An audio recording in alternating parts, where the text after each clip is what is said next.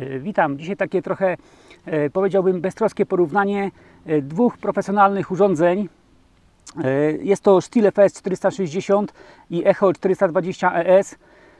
E, Oba, oba te, modele nie należą do najwyższych w gamie danych producentów, ale to już są porządne maszyny, na których można duże, duże obszary kosić i obie uchodzą za, za profesjonalne. Stihl ma 45 cm pojemności silnik i 3 konie mocy. Echo ma 42 pojemność silnika e, i 2,42 konia mocy. E, Także Echo jest słabsze, e, no ale zobaczymy jak sobie, jak sobie radzą w trawie. Obie mają założone te same żyłki, jest to sztyl 2.7 kwadrat. Natomiast głowice oczywiście są inne. W sztylu jest głowica, którą dostałem z kosą, czyli e, 46.2. E, Natomiast e, w Echo założyłem głowicę Speedfit od Shindaiły. E, To jest oczywiście jedna marka z, z, z Echo, także to jest można powiedzieć, że, że głowica tej samej firmy. Także sam, sam, samo porównanie będzie wyglądać w ten sposób, że sobie wejdę w wysoką trawę, będę kosił w linii prostej, powiedzmy tam 25-30 metrów. E, Nie mierzyłem odcinka, ale powiedzmy, że gdzieś tyle jest. E, I zobaczymy, jak szybko którą kosą skoszę. I na koniec jeszcze e, jakieś swoje wrażenia spróbuję powiedzieć, co myślę o, o obu tych kosach i jak się ma jedna do drugiej.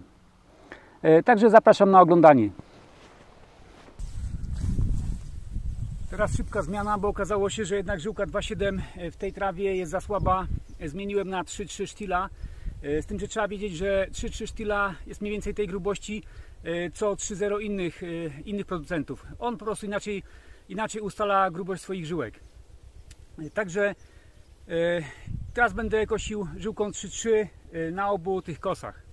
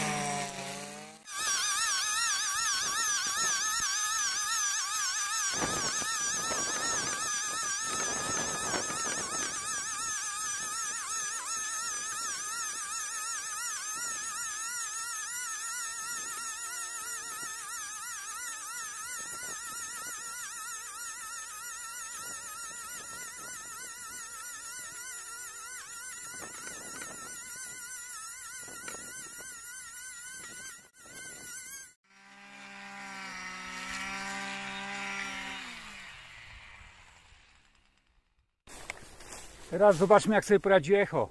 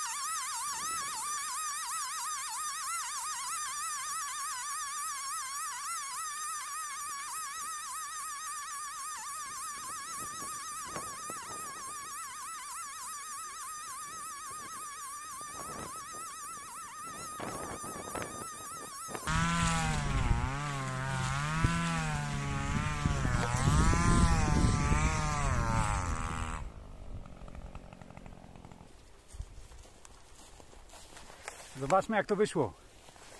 Więc tak wygląda e, przejście e, sztila. A tak wygląda e, przejście echo. Jeśli chodzi o szerokość koszenia, bo to wiadomo, kosiłem tak na, na wyczucie, mi się zdaje, że jest w miarę równo. Szerokość w obu jest taka sama. Tutaj w echo tam od połowy zdaje się, że jest trochę wężej, ale to po prostu dlatego, że tak jakby przesunąłem się o jakieś 20 cm w lewo i tak się tylko wydaje, że tam jest wężej, ale tam jest po prostu y, trochę przesunięte y, to koszenie. Y, także ogólnie bym powiedział, że jest w miarę, w miarę równo, równa szerokość.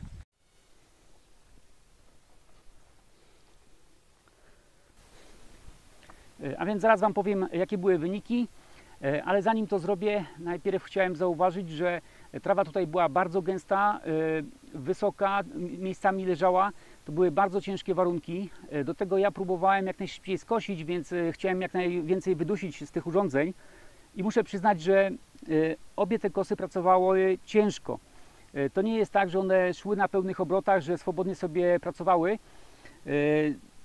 Tutaj miejscami się przydławiały. Być może, że z mojej winy po prostu chciałem za szybko.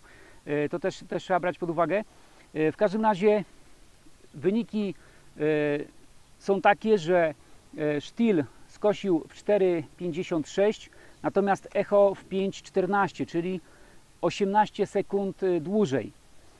E, I muszę przyznać, że, że podczas koszenia było to czuć, że echo trochę gorzej pracuje, trochę ciężej mu to idzie. No wiadomo, to jest kosa o mniejszej mocy, mniejszym trochę silniku, no i kosztuje też sporo mniej. Także Moim zdaniem wyniki są mniej więcej takie, jak, jak się wycenia te kosy, tak? Echo trochę, trochę słabsze, trochę tańsze, sztyl mocniejszy, droższy i mniej więcej porównywanie sobie radziły właśnie w trawie. Mi się zdaje, że one są po prostu takiej jakości, na ile się je wycenia. Z obu tych kos można być zadowolonym. E, jeśli miałbym którąś z nich wybrać, e, to powiem tak. Jeśli miałbym mało do koszenia, znaczy mało, po prostu trochę mniej do koszenia e, i jakieś mniejsze trawy, to na pewno echo sobie świetnie poradzi, nie trzeba nic lepszego, nie trzeba dopłacać. Ale jeśli ktoś ma bardzo dużo do koszenia, ciężkie warunki, to wtedy uważam, że warto do tego sztyla dopłacić, mieć parę koni, koni więcej, znaczy może nie parę, pół konia więcej, tak? No, E, ale jednak to robi troszkę różnicę i jeśli ktoś ma duże obszary, to ta różnica może być spora. E, poza tym amortyzacja w sztylu e, mi się zdaje, że pracuje troszkę lepiej. W obu tych kosach jest dobra amortyzacja, nie można narzekać, ale w sztylu mi się zdaje, że jest trochę, trochę gładsza ta praca. No i trochę, trochę lepiej idzie w tej, w tej właśnie ciężkiej trawie. On sobie odrobinę lepiej radzi. Ale Obie te kosy uważam, że, y, że są bardzo dobre i warte swojej ceny. E, także jeśli macie któreś z tych urządzeń, to możecie się podzielić w komentarzach swoją opinią. E, a z mojej strony to było wszystko. Dziękuję za oglądanie, zapraszam na inne filmy.